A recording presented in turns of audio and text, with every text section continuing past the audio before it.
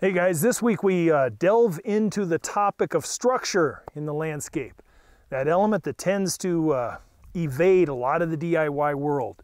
So check out on Friday when we talk about structure. And I do mean rock solid information that you can use in your landscape and how we go about attaining it, moving it, placing it, and naturalizing it.